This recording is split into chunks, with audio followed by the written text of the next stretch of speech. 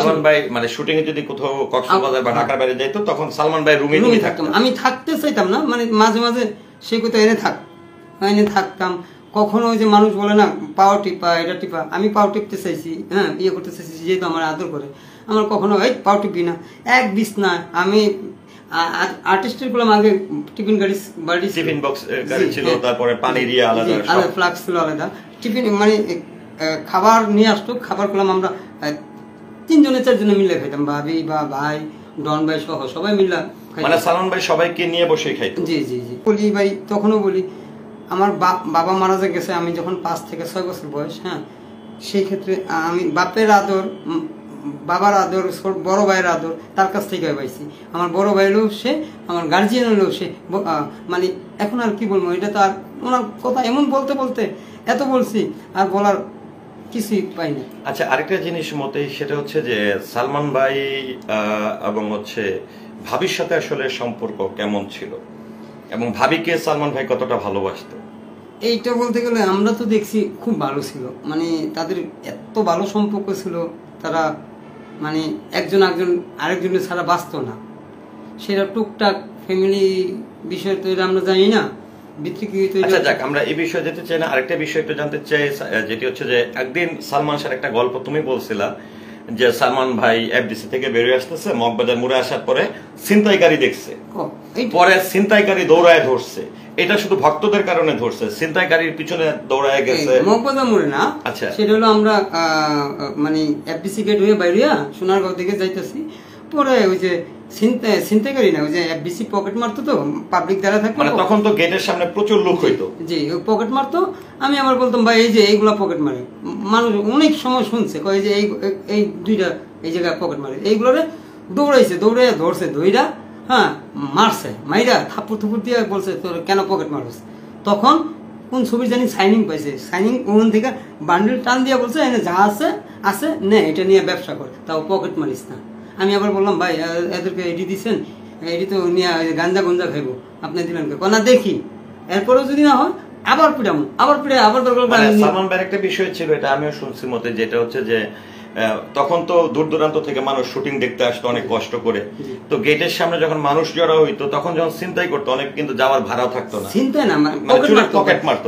মানে গড়ি নিয়ে হ্যাঁ, হ্যাঁ, গড়ি নিয়ে যেত। সালমান ভাইয়ের মূল্যা জি, আমরা নিজেরা মানে আমরা যে এফবিসির লোকজন নিজেরা দেখতে পারতাম নিজেরাই দেখতাম কিন্তু কর সাহস পেতাম না। ব্লেড থাকতো এটি মারতো মানে এইটুকু বুঝাইতাম। কেন মানুষ এই যে এত ভিড় হয়, মানুষ আসে, এই যে পকেট থেকে টাকা যাওয়ার ভাড়া থাকতো না। এমনও একটা লোক আছে হ্যাঁ গেটে বসে কান্তাছে মানে পকেট পকেট মারে টাকা নিয়ে গেছে না, আপনি একে দেখতে যাব সালমান ভাই বাইরে যেতেছে পরে শুন ভিড় দেখা, ওই স্যার অনেক কান্তাছে ভিড় দেখা বলো, কি হয়েছে আমার কাছে টাকা নেই। সে সালমান ভাই দুইটা পাঁচশো টাকার নোট, তখন তো এক হাজার টাকার নোট ছিল না, পাঁচশো টাকার নোট কালো। দুইটা পাঁচশো টাকার নোট দিয়া বলল, কই যাবা? সেই সালমান ভাই তারে হ্যাঁ ওই গাবতুলি দিয়ে আহ, গাবতুলি বাস স্ট্যান্ডে বাসে উঠাই দিয়ে মানে নিজে যায় নিজের গাড়ি দিয়ে সালমান ভাই তার ভক্তরে বাসে উঠাই দিয়ে আইছে আর এক হাজার টাকার সাথে দিয়ে আইছে সেইটাও আমার মনে আছে।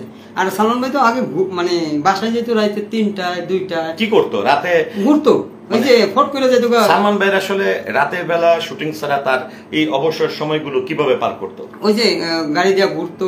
ওই এক রেস্টুরেন্টে যাইতো রেস্টুরেন্টে গিয়ে খাইতো খাইয়া টাকা দিয়ে যেত তারপর ওই যে পিঠার কথা শুনছেন না? ওই যে হ্যাঁ, পিঠার গল্পটা সালমান ভাই যে প্রতিদিন চিতই মানে পিঠা চিতল পিঠা খাইতে পছন্দ করতো। ওইটা হলো উত্তরা ওই যে যেই যে জায়গায় মার্কেট হয়েছে মানে উত্তরা হাউস বিল্ডিং মার্কেট কি মার্কেট জানি? ওই মার্কেটের পাশে একটা বেডি মহিলা রাস্তায় পিঠা বিক্রি করতো। বিক্রি করতো। এরা আবার সালমান ভাই তিন চারজন মিল্লা এরা ওই জায়গায় যাইতো। চারজন পাঁচজন মিল্লা গিয়া পিঠা মিঠা খাইয়া যা থাকতো তাই দিয়ে। ওই পিঠার এই পিঠার কথা আমি একদিন এবং সালমান ভাই প্রচুর জাল খাইতো। জি। হ্যাঁ। হ্যাঁ সালমান ভাই প্রচুর ভর্তাটা খাইতো বেশি, মানে হ্যাঁ। প্রচুর জাল খাইতো শুটকি ভর্তা খাইতো। শুটকি ভর্তা আবার ওই যে আপনার একদিন ঠান্ডা লাগছিল সরিষা ভর্তা খাইতে গিয়ে নাক দিয়ে পানি পড়ছে। করে একদিন যেটা হচ্ছে যে তোমার মাকে সালমান শাহ মা ডাকছিল। এটার একটা মজার গল্প আছে যে সালমান শাহ তোমার মাকে মা ডাকছে এবং তোমাকে খুঁজতে খুঁজতে সালমান শাহ বস্তিতে গেছে। তো এটা অনেক বড় মনের পরিচয়। সালমান ভাই তোমার মাকে কেন মা ডাকছিল এবং কি কারণে বস্তিতে গেছিল? ভাইয়া সেটা হলো আমার গায়ে জ্বর ছিল এফবিসি দেখা নাই অনেকদিন ধরে। তারপর কার ঠিকা জানি হ্যাঁ আমার বাসার ঠিকানা নিয়ে আমি এই যে বাসপট্টি মানে যে হাতি দিলে চক্করটা আছে না ওই জায়গা ওই আপনার ওই- যে কারেন্টের যে ইয়াটা। না, ও বিদ্যুৎ অফিসের পিছনেই আমার বাসা ছিল। হঠাৎ কইরা রাইতের বারোটার দিকে এগারোটা না বারোটার দিকে সে বাসায় গিয়ে দেখে জ্বর। গিয়া ডাক দিল মা মা ওঠেন। মানে এইটা আমার ঘর এটা শিউরের পরে ওই যে ওই বা- ওই যে আমাদের মানে গেটে এখনও আহ, বাবুবাই নামে একটা লোক আছে তাদের বাসায় ভাড়া থাকতাম। যে দালাল কইয়া মানে দালাল কইয়া ওনাদের বাসায় ভাড়া থাকতাম আহ, বাইরে দেখতো সালমান ভাই ভাই এই যে মতির ঘর হ্যাঁ। সবাই জানতো মতির ঘর এটা। তারপর ডাক দিছে ডাক দিয়ে বলতো কিসে মতির কি অবস্থা? তারপর মারে বলতেছে মা কি অবস্থা? আমার মারে এই কথা বলতেছে আমার পোলার তো জ্বর।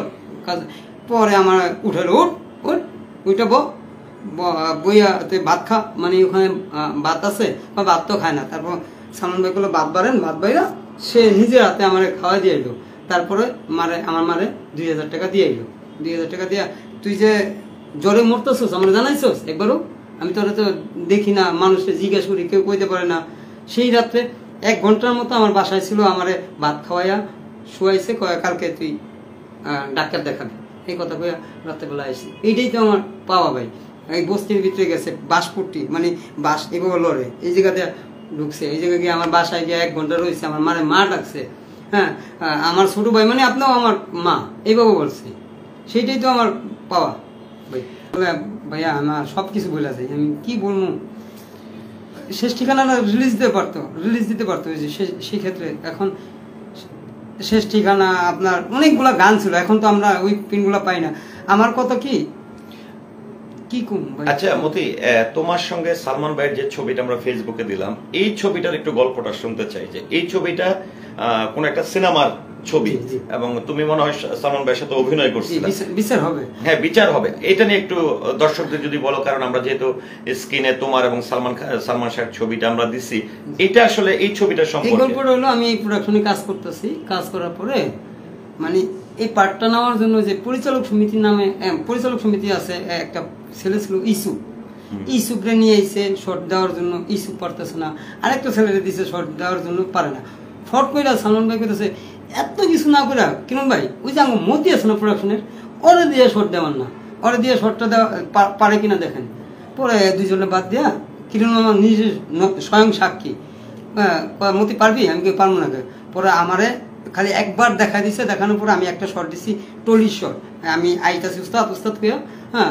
মানে সালমান ভাইকে তুমি উস্তাদ উস্তাদ বলো? হ্যাঁ, হ্যাঁ, উস্তাদ উস্তাদ ফালদে করে উস্তাদ। এই কথা বলার পরে একটা সরে একটা সরে ওকে দেওয়ার পরে তারপর ক্লোজ ক্লোজ খাটছে পরে মানে দশ মিনিট, পনেরো মিনিটের ভিতরে আমি শটটা দিয়ে দিছি পরে সালমান ভাই বলছে, দেখছেন?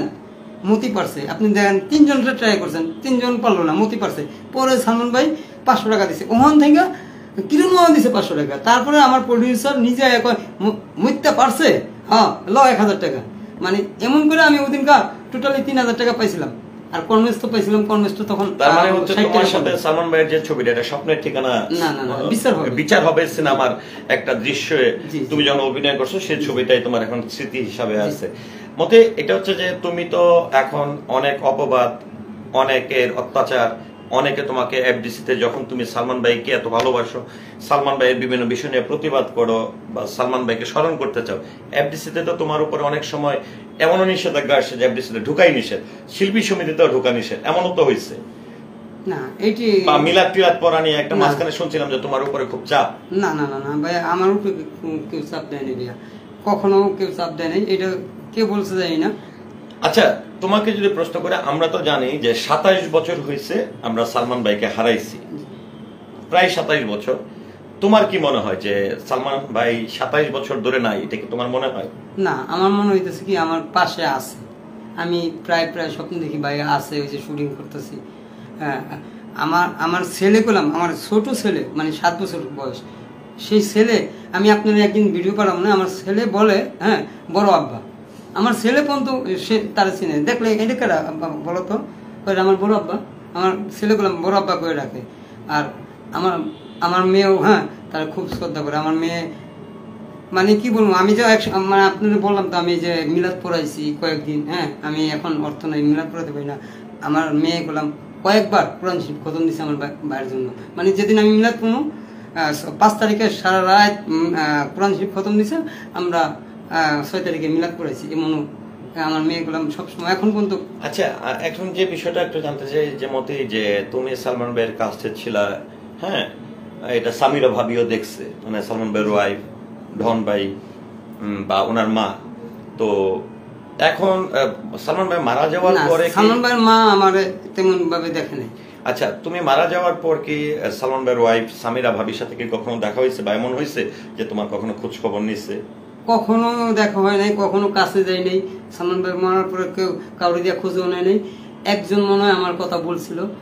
চিনতে পারি। জানি না, ছোটবেলা চিনতে পারি, কত কত বছর আগের কথা এইটুকুই বলছিল। তাও এক সাংবাদিক গিয়া বলছিল মূর্তি এখনও তো আপনাদের কথা বলে। হইতে পারে। এই কথা বলছিল। তারপরে আমি ইয়ে করিনি আচ্ছা মতি, এটা হচ্ছে অনেকে আমি মাঝখানে হ্যাঁ একটা ইয়ে দেখছিলাম আমরা, যেটা হচ্ছে যে মাঝখানে আমি একটা লাইভ করছিলাম।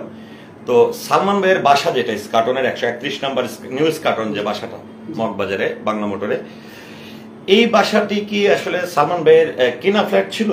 নাকি ভাড়া ছিল? এইটা জানি না সে আমার মনে হয় ভাড়া ছিল। ভাড়া ছিল? জি ভাড়া ছিল। আচ্ছা এখন কি পরবর্তীতে তুমি কি সালমান ভাই মারা যাওয়ার পরে কখনো কি বিল্ডিং এ গেছো বা উপরে গেছো? না উপরে আর কখনো যাইনি। কিন্তু সালমান ভাই জীবিত থাকলেন উপরে গেছো? জি, সালমান ভাইয়ের বাসার ভেতরটা আসলে কেমন ছিল?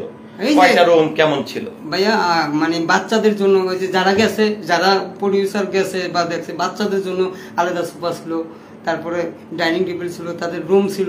মানে টাইস করা না ওই যে মার্বেল টাইস বলে না? মার্বেল টাইস করা ছিল ওই টাইস না মানে এখন যেই টাইপের এই টাইস আচ্ছা একটু যেতে চাই যে অনেকে এখানে প্রশ্ন করেছে আবার একটু বলছি যেহেতু আমাদের স্বপ্নের নায়ক প্রিয় নায়ক সালমান ভাইকে আসলে শ্রদ্ধার সাথে স্মরণ করে আজকে আমরা এই লাইভটি করছি। সো আসলে যারাই লাইভটি দেখছেন, অনুরোধ করব, আপনার কাছে যদি সালমান শাহ একজন প্রিয় নায়ক হয়, সালমান শাহকে যদি আপনি ভালোবাসেন, সালমান শাহ যদি আপনার একজন স্বপ্নের নায়ক হয়, অবশ্যই আমাদের লাইভটি শেয়ার করবেন, যাতে করে সকল সালমান ভক্তদের, কারণ একটি জিনিস, যেহেতু মতি সালমান ভাইয়ের সঙ্গে তার স্মৃতি জড়ানো অনেক গল্প, তার আসলে সালমান ভাইয়ের সবচেয়ে কাছাকাছি ছিল তো এই যে সালমান ভাইকে আসলে এই যে মতি আছে তার এই কথাগুলো বলছে উপস্থাপন করছে এই কথাগুলো কিন্তু একদম সত্য এবং সালমান ভাইয়ের খুব কাছ থেকে দেখায় সেক্ষেত্রে অবশ্যই আমি অনুরোধ করব আমাদের ভিডিওটি শেয়ার করার জন্য। তো মতি আরেকটা বিষয় হচ্ছে যে সালমান ভাইয়ের তুমি কি কখনো সিলেটে গেছো? ওনার যে বাড়ি বা পরবর্তীতে মারা যাওয়ার পরে মানে ওনার বাড়িতে যাইনি আমি কবরে গেছি কবরে দুইবার গেছি। আর অনেকজনে জানে আমার মেয়েকে নিয়ে যাওয়ার কথা। আমি এখন পর্যন্ত আমার মেয়ের নিয়ে যাইতে পারিনি। আমার মেয়ে বলছে আব্বু আমি বড় আব্বুর কবরে যাব। এখন পর্যন্ত মানে মানে তোমার মেয়ে সালমান ভাইকে বড় আব্বু ডাকে? জি। না আমার ওই আমার মেয়েটা দেখা দেখি তো আমার ছেলেও বড় আব্বু। আমার ছেলেটা বেশি ডাকে। এটা কেটা বড় আব্বু। আমার বড় আব্বু। এটা এইভাবেই বলে।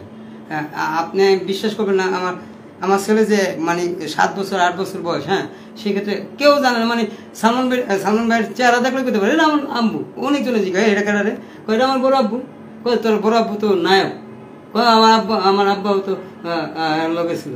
আমার আমার আব্বা আমার আব্বার পারছে না। এই কথা এখনও বলে।